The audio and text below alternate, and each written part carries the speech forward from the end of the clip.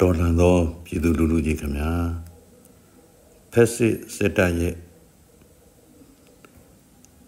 ရက်ဆက်ရိုင်းဆိုင်မှုများကို တွေ့မြင်ကြရမှာဖြစ်ပါတယ်ဖားကန်အနံပါဒေတာကိုဘုံကျဲတိုက်ခိုက်မှုကစစ်ရာဇဝတ်မှုကျူးလွန်တာဖြစ်ပါတယ်ဒီလိုပဲစာတင်ကျောင်းတွေဖះကျောင်းတွေကအစရခင်ကလည်းအပြစ်မဲ့ပြည်သူတွေကိုအကြမ်းဖက်တိုက်ခတ်ခဲ့တဲ့ဒီဖက်စစ်တပ်ဟာ အခုဖားကန်အနံပါဘုံကျဲတိုက်ခိုက်မှုဟာဖြင့်နာမည်ကြီးအမှုပညာရှင်တွေအပါအဝင် ပြည်သူတွေများစွာတေဆုံးထိခဲ့ရသည့်တိုင်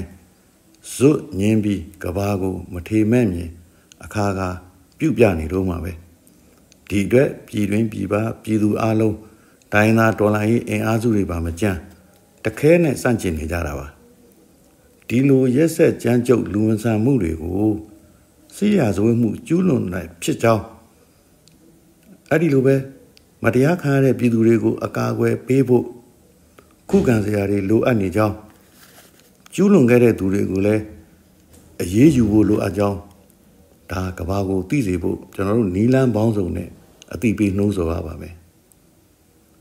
စစ်အာဏာရှင်ကိုစန့်ကျင်တိုက်ပွဲဝင်နေတဲ့တော်လှန်ရေးအင်အားစုအားလုံးဟာတကွဲတပြား ထင်းချောင်းများလို့မနေပဲထင်းစည်းလို့ပေါင်းစုနေတယ်ဆိုတာပြရမှာပါပဲလက်ချောင်းနေတချောင်းချင်းအချိုးမခံပဲလက်တီးကြစ်ကြစ်ဆုပ်ဗျိုင်းတူဝိုင်းတိုက်ရမယ်အချိန်ခါပဲဖြစ်ကြောင်းတန်ပြိုင်ဟိရမယ်အချိန်ပါပဲဒါကြောင့်ဒီလှုပ်ရှားမှုမှာတပိတ်နီလန်းပေါင်းစုံအပါအဝင်ပေါ့ကိုပါဝင်နိုင်တဲ့နီလန်းတွေကိုရွေးပြီးစွမ်းသမျှပါဝင်ကြဖို့ ကဘာတိအောင်ကဘာသုံးတင်ကေတာတွေနဲ့တခဲနဲ့ညီကြောင်းပြကြပါစို့ခင်ဗျာ